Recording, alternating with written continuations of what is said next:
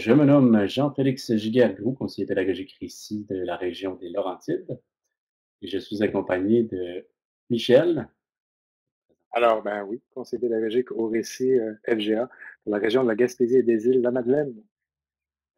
Notre objectif, c'était de vulgariser des notions qui sont souvent vues euh, de manière théorique, donc euh, à l'université, qui ont justement l'ingénierie de l'enseignement à distance.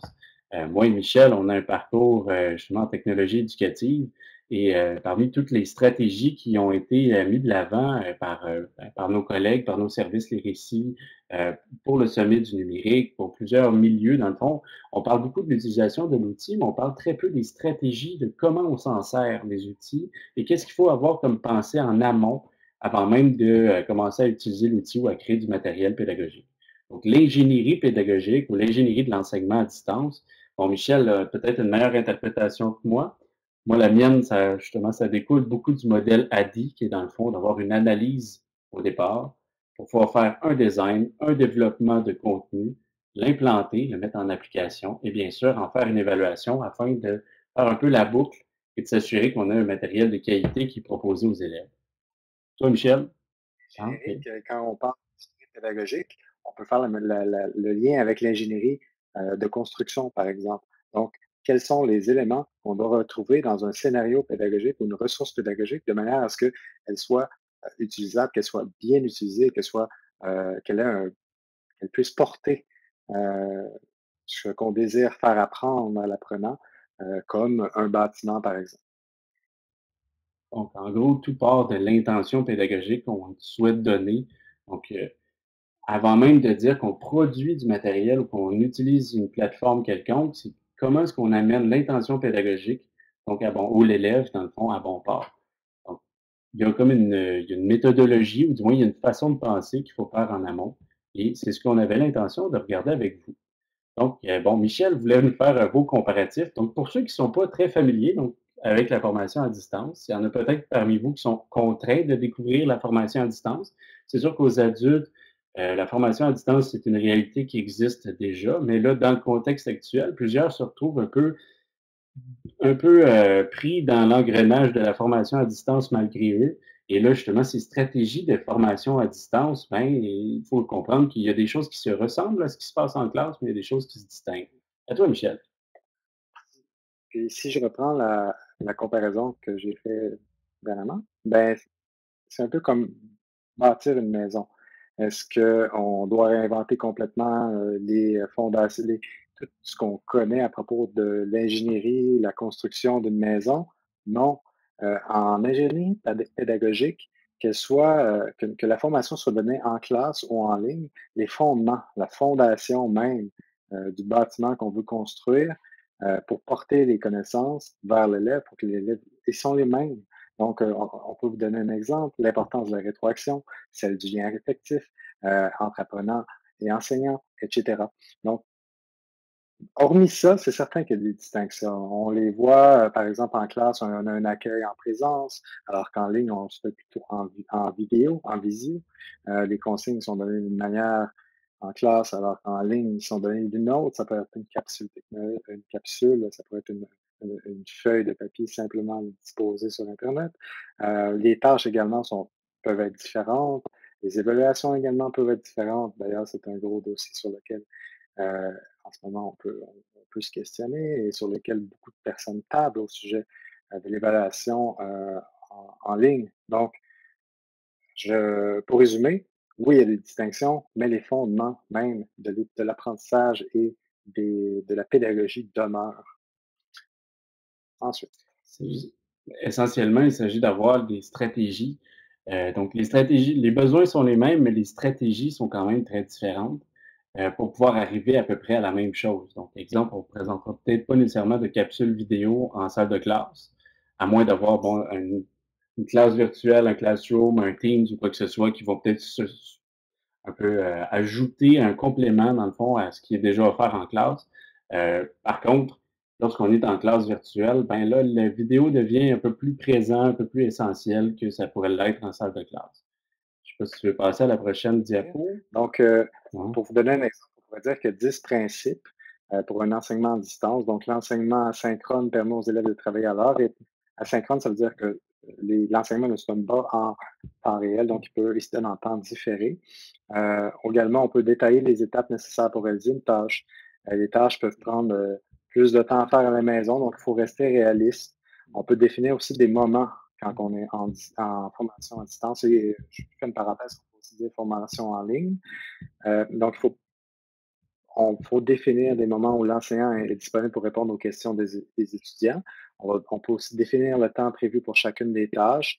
Euh, également, comme je l'ai dit tout à l'heure, la rétroaction, ça demeure important. Donc, faut prendre le temps de demander la rétroaction des élèves quant à la charge de travail, le rythme, moyens d'apprentissage. Euh, le lien encore est important. Donc, communiquer euh, très régulièrement avec les élèves, c'est super important. C'est important également de définir clairement les modes euh, d'évaluation et aussi des objectifs. Donc, euh, en voici quelques-uns, il y en a d'autres. ensuite, donc, je te laisse celle-ci, mon cher. Ben, dans le fond, là où on, quand on est justement à bon récit, quand on est conseiller pédagogique en technologie éducative, on sent qu'en ce moment, on parle beaucoup d'outils. Donc, on propose des outils. On propose des outils pour favoriser la collaboration. Euh, qui est un des éléments centraux qu'il faut euh, être capable de pallier. Parce que lorsqu'on est en présentiel, la collaboration, elle se fait presque d'elle-même. Donc, tu sais, d'avoir la présence du prof ou de d'autres élèves, il est très facile de se rassembler, d'organiser, de créer des équipes, euh, de faire des documents collaboratifs, assurer des suivis ou partager des documents. Mais là, lorsqu'on est en ligne, ben là, c'est les outils et les stratégies qu'on fait avec ces outils-là qui deviennent primordiales. Donc là, on a cinq exemples. Donc, le OneDrive, qui, bien entendu, et voit avec la suite Office 365. On a le Google Drive. On a aussi la G Suite. On a le Dropbox. On a le Office 365 qui, dans le fond, sont des outils qu'on utilise euh, à toute fin pratique pour pouvoir créer des, créer des documents qui sont justement collaboratifs. Euh, chose qui euh, se distingue justement des fameux Word qu'on envoie en version 1.1, 1.2, 1.3, peu importe. Donc, à ce moment-là, on est plus en direct. Je ne sais pas si tu avais le doigt levé, Michel, pour me dire ajouter? Je le sais, je sais qu'on va avoir une prochaine diapositive qui va présenter d'autres outils. Je trouve important de, faire une petite pause pour répéter que euh, les fondements de l'apprentissage demeurent, c'est seulement la manière de les transmettre qui diffère et les outils sont un moyen et non une fin. Donc, pour vous donner un exemple, oui, on peut construire une maison euh, avec un marteau, mais il y aurait aussi possibilité de la construire autrement. Donc, euh, l'outil est, à votre service et non le contraire, en tant qu'enseignant en formation à distance ou quoi que ce soit, concepteur pédagogique ou comme vous voulez. Mais gardez en tête que utiliser l'outil qui, vous amènera le plus rapidement vers votre objectif est probablement la meilleure des stratégies à utiliser. Il ne faut pas vous laisser happer par tout ce qui peut être trop complexe. Parce que souvent, c'est un peu une charge mentale que d'essayer de s'approprier un outil, alors qu'on a, tu sais, dans certains cas, on n'a pas pensé au préalable à quel outil est le plus pertinent pour le besoin qui est à combler. Donc, avant même de se donner une, appropriation d'un outil, ben, peut-être de se poser la question de quoi est-ce que j'ai besoin? Est-ce que j'ai besoin d'un outil pour favoriser la collaboration? Ou est-ce que j'ai besoin d'un outil pour favoriser la communication? Parce que ça, c'est une autre chose. Donc, la collaboration, on écrit, on co-crée, en fond, des notions d'apprentissage. La communication, c'est aussi le nerf de la guerre, notamment à distance. Donc, est-ce qu'on utilise Facebook Messenger?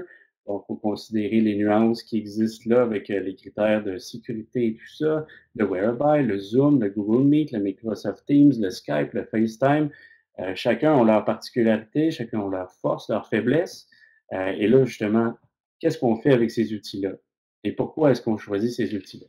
Bon, le Facebook, on peut considérer parce que probablement tout le monde en a un, donc c'est facile. Par contre, il y a l'enjeu, euh, est-ce qu'on a accès aux données personnelles de chacun des élèves? Donc, il faut se poser la question.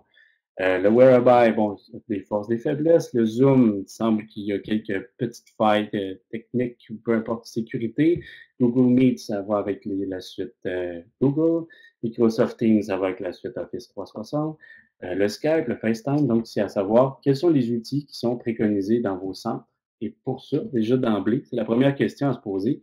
Qu'est-ce qui est préconisé dans vos centres? Pourquoi on choisit un outil de communication pour favoriser les échanges, pour animer une présentation, pour assurer un suivi ou briser l'isolement, pour collaborer un projet? C'est déjà des bonnes bases, déjà à se poser la question, qu'est-ce que je vais faire avec ces outils? Ça va jusqu'à présent? Je voudrais juste ajouter, Jean-Félix Oui. J'ai juste ajouté par rapport aux outils de communication, c'est important également de prendre des outils qui vont vous permettre de rejoindre tous les élèves et non celui qui pourrait créer des, heu, des enjeux d'inclusion et d'exclusion. Heu, alors c'est pour pour ça que peut-être vous allez être appelé à en utiliser plus bas. Heu, en ce moment, on voit des, des des des gens qui n'ont pas nécessairement accès à internet en ce moment, qui, qui peuvent passer à côté de quelque chose avec la formation à distance. Donc, adaptez-vous. Je fais partie de la génération qui ont déjà suivi des formations, par exemple de la TELUC et qui recevaient des cassettes à la maison, heu, et qui communiquaient avec son tuteur par téléphone. Heu, un cours d'espagnol à distance, c'est pas évident, hein, surtout à au téléphone, mais c'est mieux que rien et ces élèves qui n'ont pas nécessairement accès aux technologies, il faut leur rendre le tout disponible. Ce qu'on veut avec les outils de communication, c'est de réduire la distance entre l'enseignant et l'apprenant et qu'importe les moyens que vous allez utiliser, si vous êtes capable de vous rapprocher de vos vos de vos élèves, je le répète, le fondement du lien affectif est important, ben, utilisez-les. Sinon vos élèves vont décrocher. Excusez-moi. Absolument. Est-ce que ça c'est Donc, on repose nos questions. Ça va jusqu'à présent? C'est une question pour que vous puissiez nous Tout inter à fait, messieurs, ça va très bien. D'accord, ben merci. Et j'ajouterais au concept là, de, de rejoignez vos élèves, peu importe le moyen, et ça peut même être par la bonne vieille poste. Euh, c'est Mmh. vraiment un principe de bienveillance. là. Présentement, on fait avec les moyens du bord parce qu'il n'y a rien d'organisé en plus haut lieu. Et tu mentionnais aussi l'importance euh, d'utiliser ce qui est offert dans la commission scolaire où on travaille et ça peut avoir de grandes incidences parce que si on dispose de soutien technique, ben ça peut aussi grandement aider. Absolument. Et je pense que c'est même essentiel, justement, d'aller dans le même sens que l'orientation de la commission scolaire, parce qu'à ce moment-là, les élèves vont avoir les outils, heu, les comptes, donc, heu, de notamment si on a Office 360, ben, ils vont avoir des adresses Outlook qui vont être compatibles avec, heu, toute la suite Office 365 ou inversement, ils vont avoir, heu, des adresses ou des comptes, Gmail qui vont être compatibles avec toute la suite G Suite. Donc c'est là où l'importance de de poser la question à notre environnement. Est-ce que, heu, quels sont les outils qui sont à notre disposition? Donc déjà, ça, c'est un premier, un premier, une 1 question à se poser. Bon, je vous partage mon épiphanie, de du matin. Heu, donc, heu, j'avais une grande excitation, bon, je sais pas trop pourquoi. Je me suis réveillé ce matin avec un peu cette idée de faire un schéma pour pouvoir simplifier ce parcours-là. J'en parlais un peu à à Driss, tout à l'heure. Heu, c'est un peu une séquence que j'ai voulu simplifier, sous la forme d'un schéma. Heu, donc déjà d'emblée, si vous regardez la première ligne, vous allez avoir tout ce qui est en lien avec la relation avec les élèves. Notre, heu, très cher collègue Michel, heu, dans une de ses précédentes présentations, nous parlait de l'importance du lien qu'on entretient avec les élèves, ce malgré la distance. Donc, comment est-ce qu'on entretient le lien? Ben, déjà en ayant une analyse des besoins des élèves. Donc, concrètement, est-ce qu'ils ont des difficultés d'apprentissage? Est-ce que, heu, ils ont, une connexion internet? Est-ce qu'ils ont leur compte? Ont leur accès aux ressources pédagogiques? Donc, ensuite, quels sont les objectifs de formation de l'élève? Parce que c'est bien de souhaiter que tous les élèves se rendent jusqu'à l'université, mais probablement que l'objectif final de l'élève, c'est de se rendre en formation professionnelle ou de se rendre en dans un AEP, un AEC ou une formation collégiale ou même, bon, université. Mais essentiellement, le fait de savoir d'emblée quel est l'objectif de l'élève, ben, ça va nous permettre d'offrir des services, de d'encourager l'élève à aller vers la direction qui lui convient. Donc, si exemple, il a besoin d'un secondaire 3 en mathématiques ou des sciences de secondaire 5, à ce moment-là, on va pouvoir mieux l'accompagner pour pouvoir éventuellement lui permettre d'atteindre son objectif. Ensuite, donc dans les premières étapes importantes à avoir, ben, c'est d'avoir un peu un regard objectif des ressources qui sont disponibles dans vos centres. On peut parler notamment des services d'orthopédagogie. Heu, on s'entend que les secteurs adultes, heu, bon, vont quand même canaliser certains élèves qui ont des besoins spécifiques, des besoins particuliers. Est-ce qu'il existe des ressources? Est-ce que, bon, on a des WordQ, on a des des, heu, des antidotes, donc les outils qui sont à la disponibilité des élèves? Ben, en règle générale, c'est l'orthopédagogue qui a une bonne idée de, heu, qu'est-ce qui est à la disposition des élèves. Bien sûr, des conseillers pédagogiques qui peuvent avoir déjà une lecture de la discipline ou des contenus disciplinaires. Euh, le répertoire de ressources d'enseignement, en règle générale, même si c'est votre première année, il y a des gens qui étaient là avant vous, qui ont déjà récolté du matériel. Euh, et il y a énormément de répertoires qui sont à votre disposition. on va regarder ça justement à la deuxième étape. Plusieurs ressources intéressantes, puis on en produit encore plus, surtout dans le contexte du confinement. On a bon, le programme d'engagement vers la réussite, qui est quand même un élément de ma modeste pratique qui est quand même très, euh, vraiment intéressant, qui est assez essentiel pour les élèves, donc de prendre compte de c'est quoi leur propre initiative ou euh, les, démarches qu'ils doivent eux-mêmes accomplir. ça aussi, c'est intéressant. Bon, les gestionnaires et directions, bien entendu, et les administrateurs des NA. Bon, les NA, ce sont les environnements numériques d'apprentissage. Euh, donc, quand on parlait tout à l'heure, donc la suite Teams, la suite Google, la suite, bon, l'utilisation de Moodle et tout ça, ben, les fameux administrateurs DNA, si vous regardez en plus gros, ça va être vos meilleurs amis. Donc, vous assurez que vous les connaissez par leur prénom et vous leur offrez un petit cadeau à Noël en vous disant, quand vous allez être dans le trouble avec un gros pépin technique, puis que là, il y a des dizaines d'élèves qui viennent de se rajouter, que vous avez besoin qu'ils rentrent maintenant pour suivre leur formation, ça va devenir vos meilleurs amis. Tu voulais ajouter, Michel? Ajouter que justement, le récit FGA, parmi ses membres, qui constituent cette belle équipe-là qui est en réseau, euh, a euh, des gens qui sont dédiés à répondre à ces questions, à amener du soutien technique, on fait de la collaboration, on développe des ressources pour qu'elles soient disponibles pour tous dans l'environnement numérique d'apprentissage qu'est le Moodle. Si vous voyez des choses qui sont intéressantes, référez-vous aussi à votre, à votre euh, récit régional qui va pouvoir vous accompagner dans, dans cet environnement qui regorge de ressources qu'il faut parfois un peu fouiller pour bien trouver ce qu'on cherche. Fin de ma parenthèse. Ben, ça, m'amène, j'allais simplement dire, bon, avoir une bonne connaissance du programme ministériel, pour avoir justement une idée de qu'est-ce qui est à savoir en, notions antérieures euh, et bien entendu les notions qui vont être vues dans les cours qui vont euh, qui vont suivre. Donc déjà ça, aide si on enseigne en secondaire 3 de savoir qu'est-ce qui est su en secondaire 1 et 2 et ensuite au secondaire 4. Et pour revenir au point que Michel partageait, hein, on a effectivement plusieurs ressources qui sont mises à la disposition des enseignants.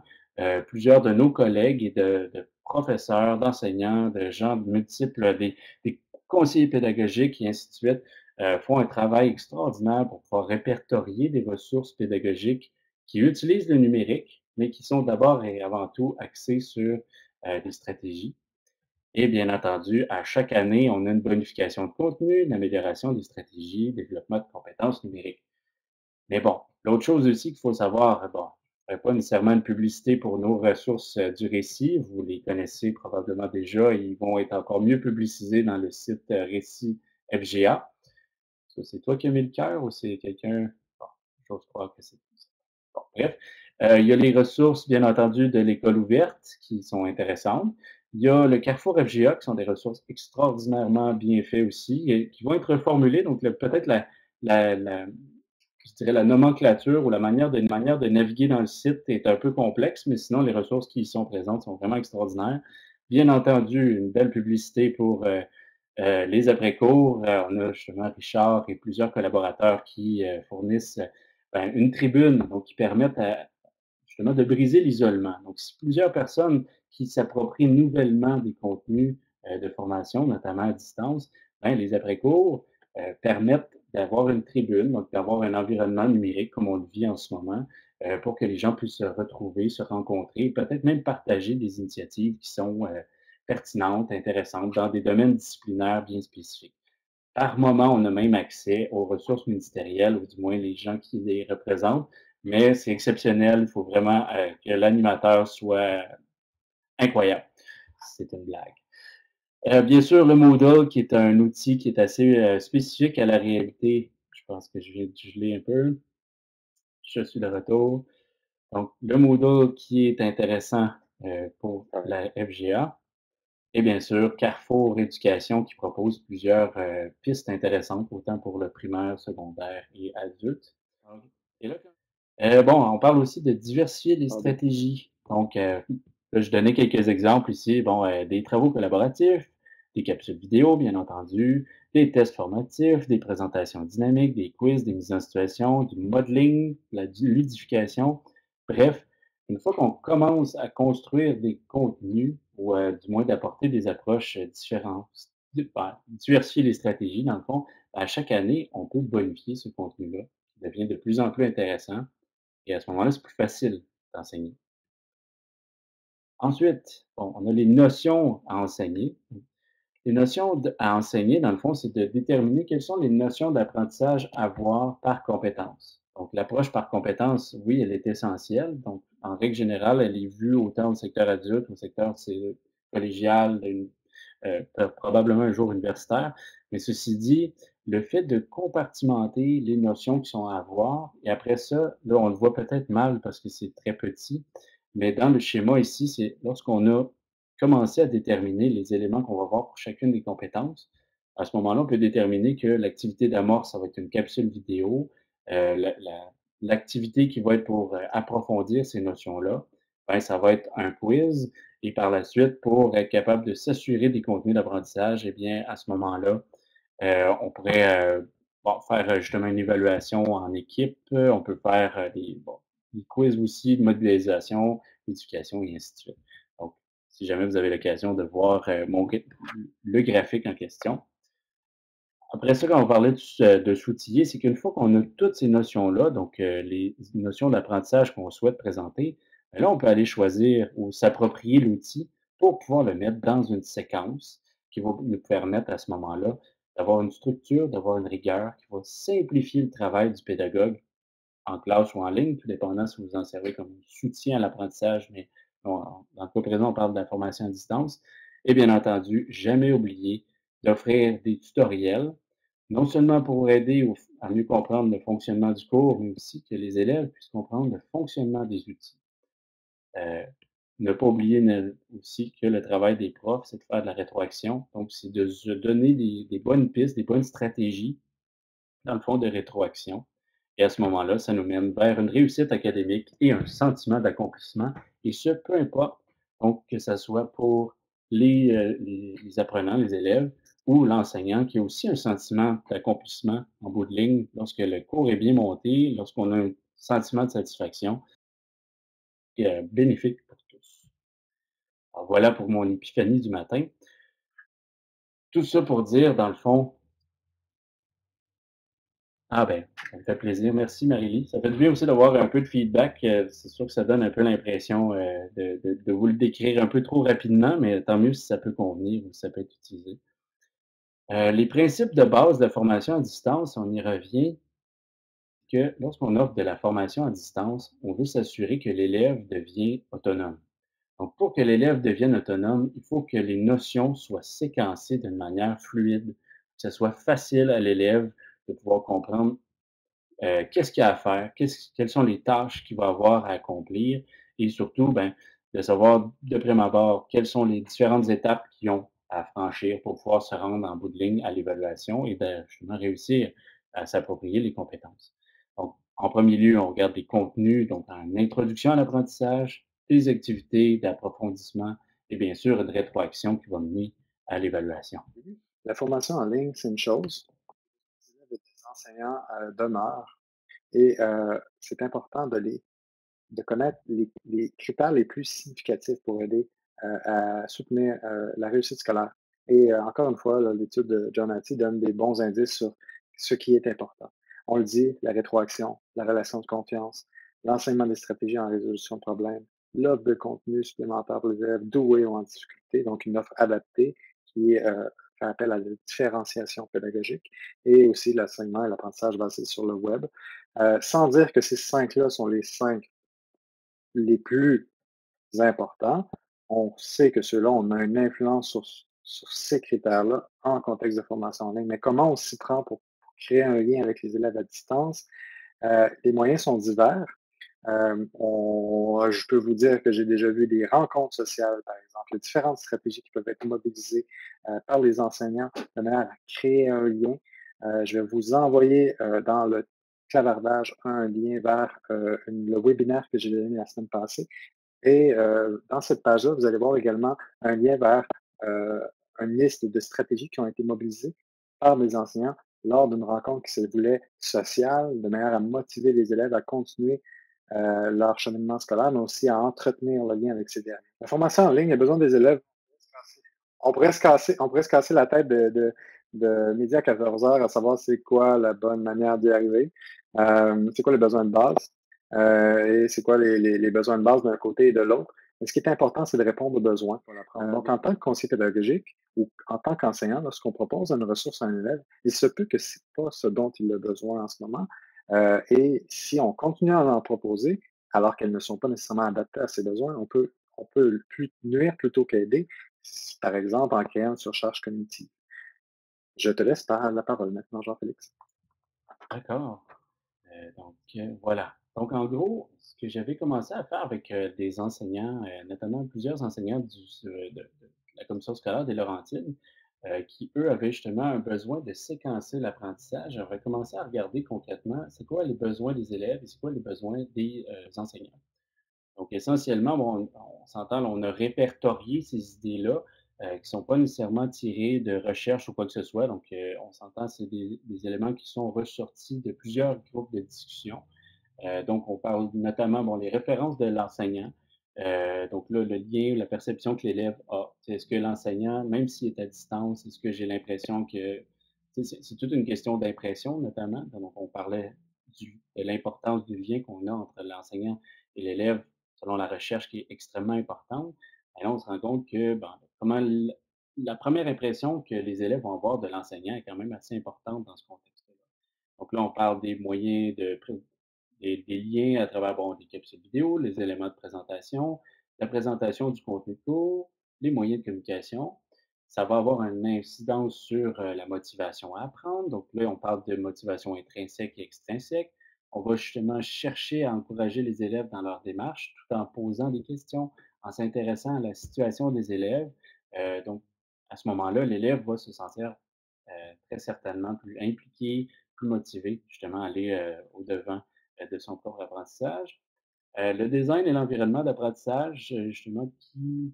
Alors, on s'entend que c'est peut-être pas nécessairement la plus grande des priorités que d'avoir un beau PowerPoint, mais inévitablement d'avoir un PowerPoint qui se lit, qui est quand même fluide. Un PowerPoint qui n'est pas nécessairement rempli de notions un peu trop ardues à lire, considérant la clientèle que nous avons aujourd'hui.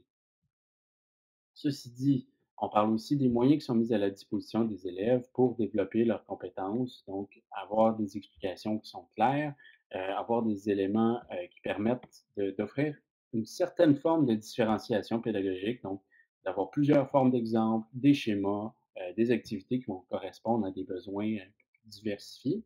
On parle d'une autonomisation des élèves dans leur démarche d'apprentissage, surtout avec la formation à distance euh, on demande souvent aux élèves d'avoir euh, un peu plus d'autonomisation, je me répète.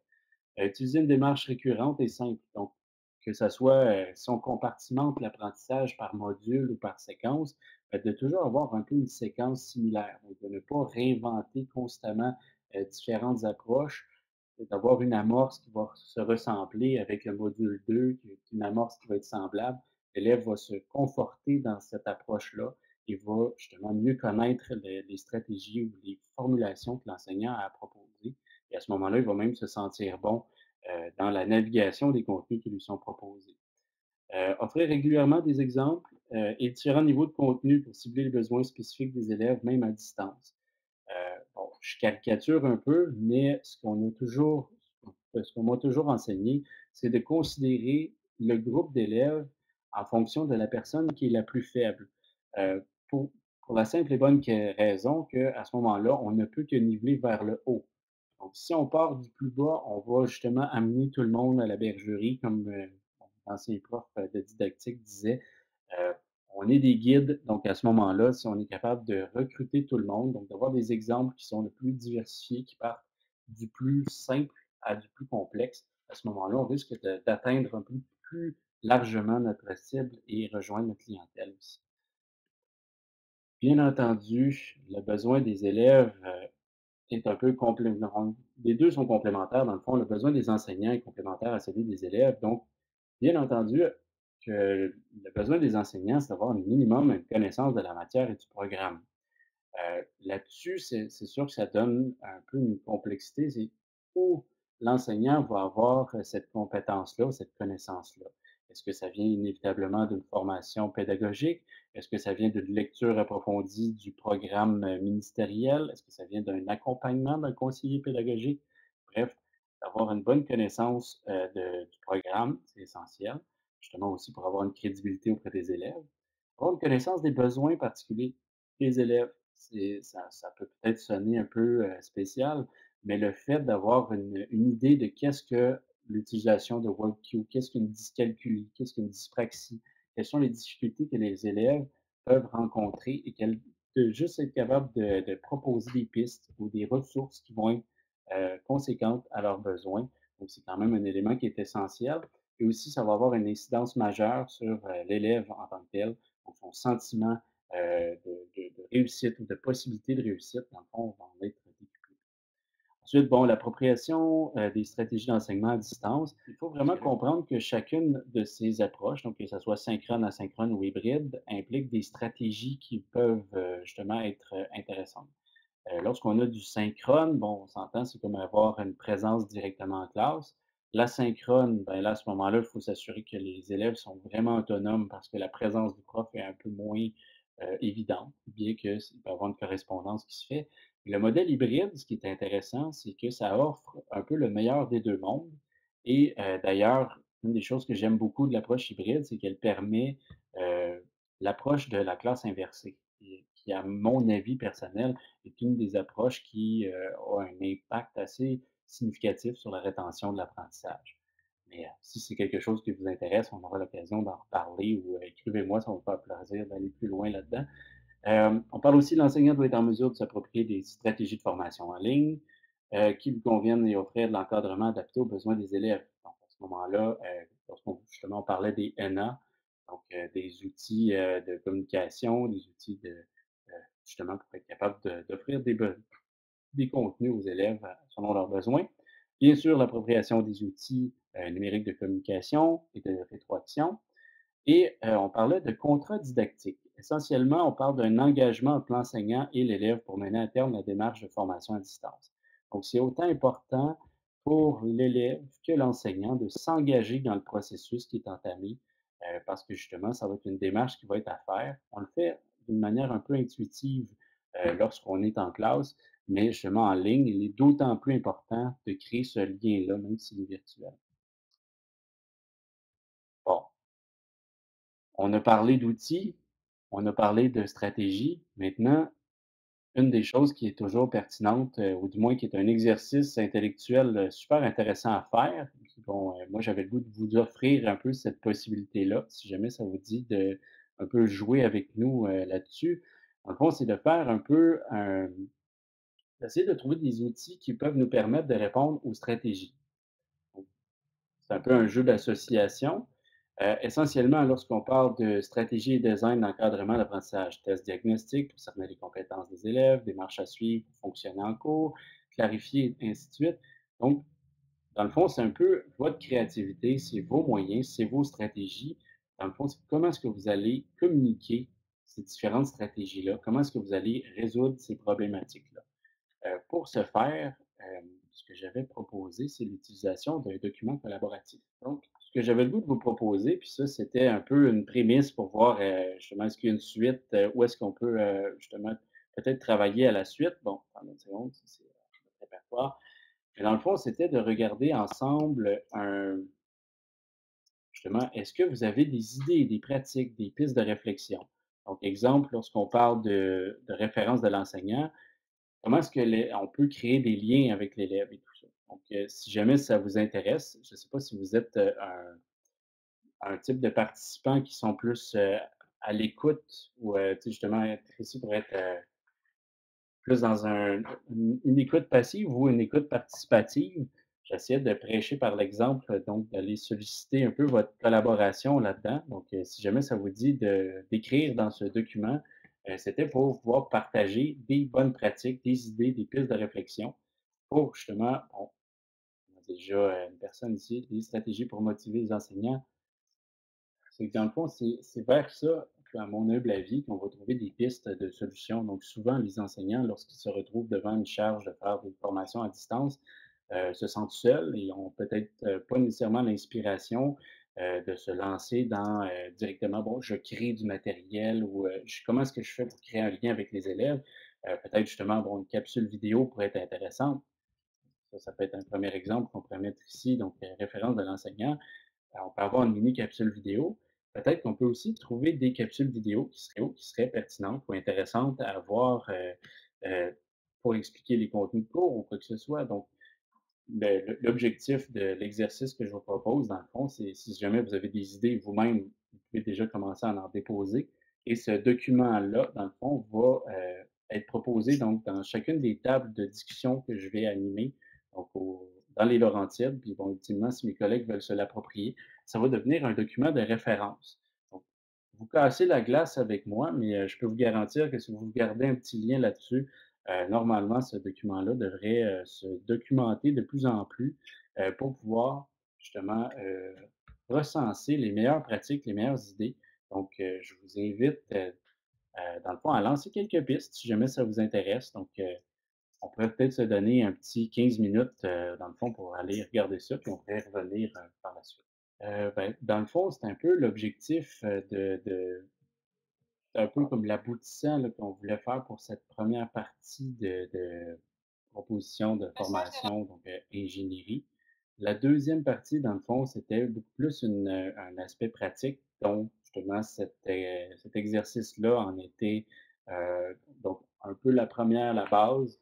Donc c'est que par la suite, c'était d'arriver avec des mises en situation et de justement, peut-être justement partager, heu, différents, de bon, des bons exemples, des outils. Donc, heu, est-ce qu'il existe, bon, des répertoires, des outils ou quoi que ce soit qu'on n'a peut-être pas vu, des stratégies, ainsi de suite? Ça va? Dans le fond, l'objectif que je souhaite réitérer, dans le fond, c'est de voir est-ce que ce ce ce genre de formation-là correspond à vos besoins?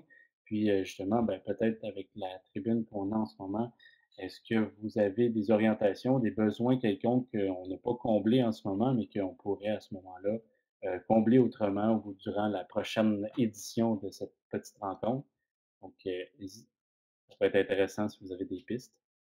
En fait, j'en vois déjà une importante et je reviens au début de la présentation quand Michel, tu parlais de l'importance du lien. On aura peut-être, peut-être, dis-je bien, la possibilité de formation hybride présentielle à distance à l'automne. Rien n'est moins sûr. Mmh. Alors, il y aura vraiment un volet, je pense, à rajouter sur la création du lien à distance. Là, on avait des élèves, des étudiants qui nous avaient déjà vus. À l'automne, on espère en avoir d'autres élèves, des nouveaux, et ceux-là, on les aura jamais rencontrés. Mmh. Et ça, ça va être un défi de taille. On connaît nos élèves de la FGA qui sont fragilisés souvent dans leur démarche d'apprentissage, dans leur relation sociale. Je pense qu'il y a quelque chose à proposer l'an prochain. Je ne sais pas sous quelle forme, mais heu, j'ose espérer qu'il y aura une réflexion de toute l'équipe pour aborder ça. Comment on fait pour les accrocher quand on est à distance? Ça va être tellement important. Super bonne piste, je te remercie Daniel, très pertinent comme affirmation. Donc, est-ce que vous avez d'autres, heu, propositions, d'autres pistes? Justement, ça va nous donner le temps de creuser un peu, heu, ces idées-là. Donc la prochaine, on aurait à se rencontrer, heu, probablement dans 2 semaines, donc on a le temps d'arriver un peu plus en profondeur avec ces pistes-là. Déjà, merci Daniel, c'est une belle orientation, heu, posée. Si je peux me permettre, euh, j'ai trouvé très intéressant de voir les gens partager dans le document collaboratif. Ça m'amène à peut-être même me demander s'il n'y aurait pas une possibilité d'avoir une, rencontre via où on pourrait faire un, exemple de, euh, création, peut-être d'une formation en ligne ou même ensemble, peut-être mettre la main à la pâte pendant une demi-heure ou quoi que ce soit. Euh, je réfléchis à voix haute. Donc, euh, je lance l'idée comme ça. C'est sûr qu'on peut aussi faire des, traditionnelles formations en lien avec, des outils, bon, d'ailleurs, c'est une des choses que je trouve un peu triste, c'est que j'ai pas pu nécessairement, heu, aller utiliser la l'artillerie lourde, comme je m'amuse à dire, heu, notamment l'utilisation du voclap ou des outils un peu plus interactifs, parce qu'il en existe plusieurs. Mais euh, c'est des outils qui, dans le fond, prennent leur sens lorsqu'on a à peu près une dizaine de personnes, euh, voire même une quinzaine, une vingtaine. Mais euh, avec la, la participation qu'on était là, donc on avait peut-être plus l'opportunité d'utiliser nos caméras et nos micros. par contre, ce qui est intéressant avec les, certains outils, notamment le Wooklap, le Genially, tout ça, c'est de pouvoir, pardon, très simplement rendre les contenus de présentation très dynamiques euh, et ce, sans nécessairement, comme dirait l'expression, se casser le bicycle. Euh, donc, ça aurait été, ben ça pourrait être un bel exemple à donner pour une prochaine fois. Donc, dans quel contexte on utilise certaines stratégies, puis quels outils on peut utiliser aussi. Donc, euh, ça pourrait être intéressant aussi à peut-être proposer, de voir si ça peut représenter ou correspondre à un besoin. Euh, Driss proposait optimiser l'utilisation des outils au profit du soutien à distance et exemple, exemplifier l'utilisation de chacun de ces outils, effectivement. Donc, euh, peut-être de regarder euh, des familles d'outils, parce qu'on s'entend que ça va être complexe de tout les couvrir. Euh, mais effectivement, lorsqu'on parle de, d'environnement numérique d'apprentissage ou lorsqu'on parle de, d'outils qui sont plus pour dynamiser les contenus, les rendre interactifs, peut-être justement faire des répertoires qui vont rendre ça plus facile. Parce que souvent, c'est un peu ça qui est complexe dans tout ce qu'on offre c'est que euh, on a l'impression d'avoir un buffet, euh, excusez l'anglicisme, mais all you can eat. Euh, mais de là à savoir exactement c'est quoi que j'ai besoin pour pouvoir avoir une diète qui se tient et offrir à mes constructeurs de la maison, pour citer Michel, les outils qu'ils ont besoin pour pouvoir justement aboutir dans leur projet de construction et d'accomplissement de compétences, ben, c'est là où ça peut être intéressant, non pas de répertorier euh, les outils, euh, les, dans le fond, c'est plus pour le type de stratégie. Donc, un peu l'exercice que je vous proposais en amont, ben, ça pourrait être ça qu'on pourrait aller faire lors d'une prochaine édition. Donc, d'associer des stratégies à des outils. Je pense que ça pourrait être une belle piste. Merci, Driss. Je vais conclure, euh, vu le temps qui passe, avec cette belle diapo qui va vous donner des, ressources quand même intéressantes. ça, vous, ça m'amène à vous dire, vous allez sur les, sur les internets, comme on peut dire, Prenez soin de votre identité numérique. Euh, gardez le contact, le lien avec les gens. habituellement, les gens, si vous avez des questions, posez-les, euh, que ce soit sur un forum ou un groupe Facebook, quoi que ce soit. Puis, on est là pour s'aider. Au réseau de l'éducation, je pense qu'on est un des plus beaux réseaux justement pour ça, pour s'aider. Alors, euh, prenez soin de votre identité, gardez le sourire, puis on va tous ensemble réussir. Merci d'ailleurs à qui écrivent des suggestions dans le clavardage. Donc, euh, proposition comment optimiser l'utilisation des outils au, profit du soutien à distance et exemplifier l'utilisation chacun de ces outils? Intéressant. Merci beaucoup. C'est bien apprécié vos commentaires. Euh, encore une fois, en individuel, regardez les offres du Récit LGA. On a des, des, offres de dépannage. Allez voir sur le site euh. Euh, il y a beaucoup de ressources pour vous. Puis on a du soutien qu'on appelle just in time, donc juste à temps. Euh, pour des justement l'utilisation d'outils, mais aussi des, si vous avez de la planification à faire. En ce moment, on est plus en, en, en réaction à ce qu'on se fait. Donc, oui, on a besoin d'intervenir maintenant, mais peut-être qu'il y en a certains d'entre vous qui, qui aimeraient euh, avoir du soutien de manière à planifier ce que vous allez faire à l'automne, notamment pour créer un lien affectif. Donc, écrivez-nous. Ça fait un plaisir. Merci d'avoir été là.